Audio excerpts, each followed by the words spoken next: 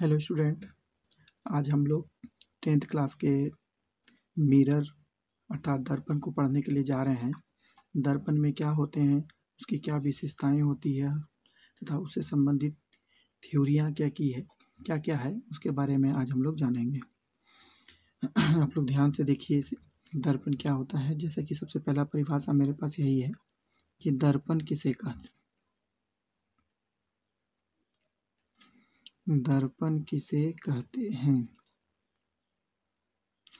तो इसका परिभाषा इस प्रकार हम लिख सकते हैं कि दर्पण किसी खोखले, दर्पण किसी खोखले गोलीय गोलीय सतह का गोलीय सतह का वह भाग होता है। वह भाग होता है जिसका कम से कम, जिसका कम से कम एक भाग एक भाग रंजित हो। रंजित हो। रंजित का मतलब होता है कि उसका एक भाग रंगा हुआ हो। है ना? रंजित की जगह में कभी कभी उसमें लिख दिया जाता है कि चांदी का परत चढ़ा दिया जाता है, उसी को हम लोग रंजित भी कहते हैं। है कि नहीं? लाल रंग से उसको रंग दिया जाता है, उसको भी हम लोग रंजित कहते हैं। मतलब उसमें कलई कर दिया जाता है, हम लोग इस तरह से कह सकते हैं। उसको कलई कर दिया जाता है। तो उसी एक शब्द है उसका रंजित तो हम लोग जानते हैं उसे रंजित। है ना? दर्पण किसी खोखले गोले का वह भाग होता है, जिसका कम से कम एक भाग रंजित हो, दर्पण कहलाता है। दर्पण कहलाता है। दर्पण कहलाता है। दर्पण दो प्रकार के होते हैं। दर्पण दो प्रकार के होते हैं। दर्पण दो प्रकार के होते हैं। पहला को कहा जाता है समतल दर्पण। पहला को कहते हैं समतल दर्पण और दूसरा होता है गोलीय दर्पण। गोलीय दर्पण। समतल दर्पण और गोलीय दर्पण।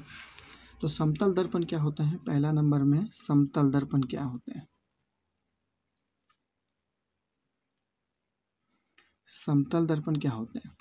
कि वैसा दर्पण जिसका परावर्तक सतह समतल होता है। वैसा दर्पण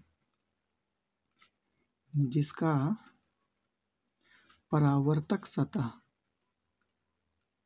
वैसा दर्पण जिसका परावर्तक सतह समतल होता है।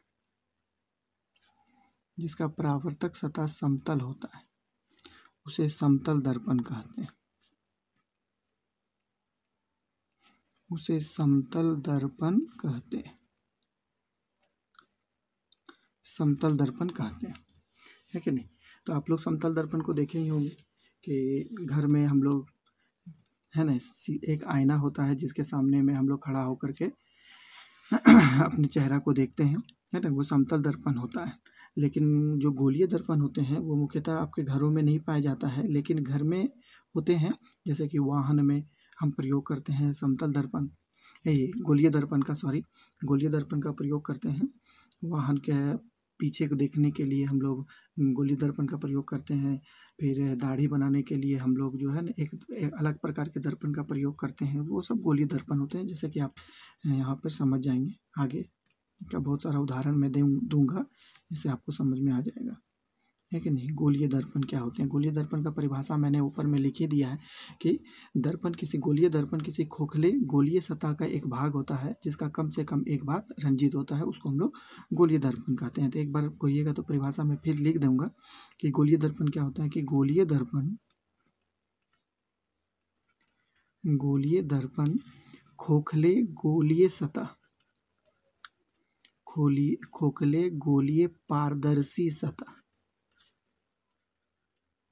खोखले गोलीय पारदर्शी सतह का।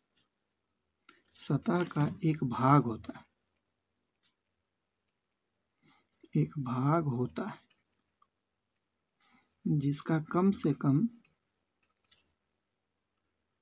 जिसका कम से कम एक भाग रंजित हो। कम से कम एक भाग रंजित हो। गोलीय दर्पण कहलाता है। गोलीय दर्पण कहलाता है। है ना? ये गोलीय दर्पण होते हैं।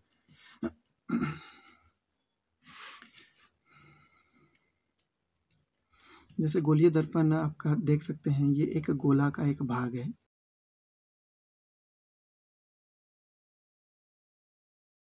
जिसमें एक अंदर के भाग को मैंने रंजित किया और एक बाह्य भाग को रंजित किया। और इसका एक भाग हम इसका काट लेते हैं इस प्रकार। इस प्रकार मैं एक भाग काट लेता हूँ। तो मुझे किस प्रकार का दर्पण यहाँ पे प्राप्त होगा? देखिए, एक ये दर्पण मुझे प्राप्त हुआ। एक ऐसा दर्पण है ना, जिसका परावर्तक सतह इधर रंजित किया हूँ, इसीलिए परावर्तक सतह ये होगा। इसका मतलब है कि ऐसा दर्पण जिसका परावर्तक सतह उभरा हुआ है। और यहाँ पर देखिए, इसका है जो मैंने भाग प्राप्त किया, वो भाग कुछ इस प्रकार है।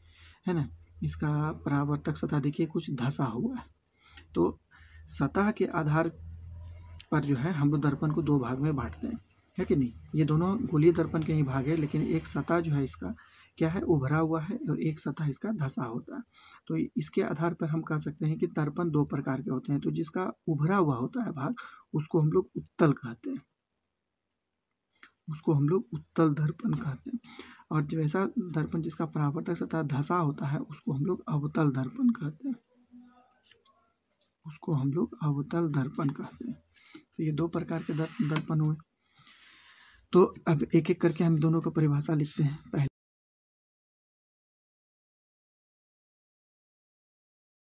दर्पण जिसका परावर्तक सतह उभरा हो, उसे हम लोग उत्तल दर्पण कहते हैं। उसे उत्तल दर्पण कहते हैं, जैसे उभरा हो इस प्रकार। है ना?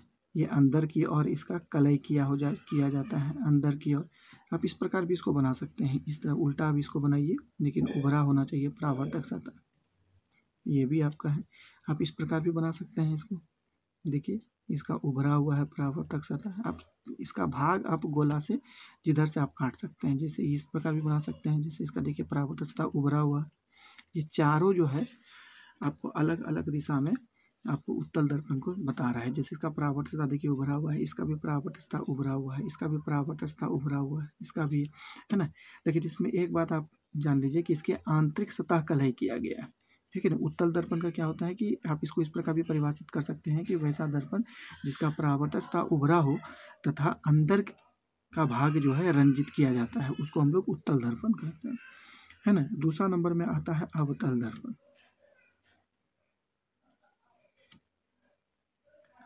अवतल दर्पण। क्या होता है?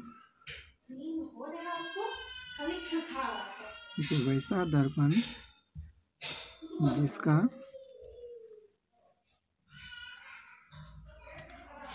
परावर्तक सतह धसा हुआ। धसा हो। उसे अवतल दर्पण कहते हैं। उसे अवतल दर्पण कहते हैं। वैसा दर्पण जिसका परावर्तक सतह धसा हो तथा बाह्य भाग रंजित हो। ठीक है नहीं इसको हम इसे कह सकते हैं तथा बाह्य भाग रंजित हो। तथा बाह्य भाग रंजित हो। रंजित हो, उसे अवतल दर्पण कहते हैं। उसे अवतल दर्पण कहते हैं।